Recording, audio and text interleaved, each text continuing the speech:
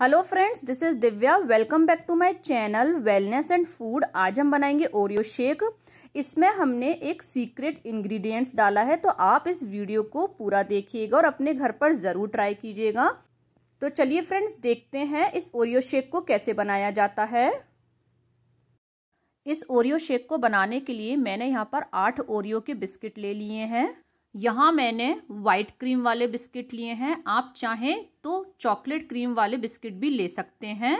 अब हम ले लेते हैं एक मिक्सर जार इस जार में मैं इन बिस्किट्स को ब्रेक करके डाल देती हूँ।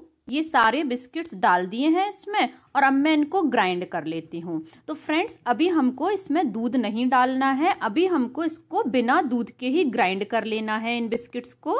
सभी बिस्किट का पाउडर फॉर्म कर लिया है। अब इसमें मैं डाल देती हूँ एक कप ठंडा दूध।